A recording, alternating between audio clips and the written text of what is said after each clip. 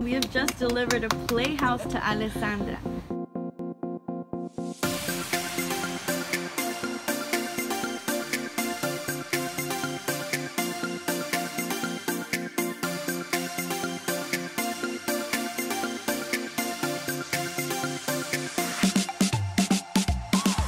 It means the world to me. It means the world to us, to all of us. Uh, just to see her happy over everything that she's been through just brings us some type of joy that's really unexplainable. This right here is gonna bring out the positivity that she loves to show, but it's hard for her to show anywhere else but home.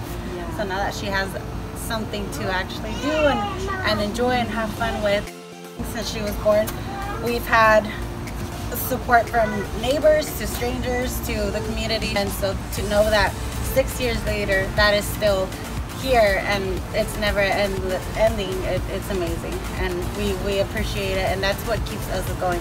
You ready to play? Yeah.